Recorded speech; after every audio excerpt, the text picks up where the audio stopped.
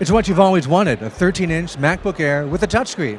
Because we've all done it. We've all reached out and tried to tap or swipe on our MacBooks before realizing, well, it's a MacBook, it's not a regular touchscreen laptop. Now, okay, it's not exactly a MacBook Air with a touchscreen. It's actually a MacBook with a sold separately add-on sensor bar that sits just below the display and connects via a USB plug. It's called the AirBar, and it works by sending up a light field that your fingers break when you swipe or when you tap. We tried a Windows version late last year. This is a new version built specifically for the 13-inch MacBook Air. It costs $99, and it's not going to uh, confuse you uh, into thinking that this is a true touchscreen uh, MacBook Air. But you know what? It works well enough for basic one and two finger swipes and taps and scrolling through long web pages that uh, it's, it's kind of fun way to experience a MacBook uh, in a way that you have not done before.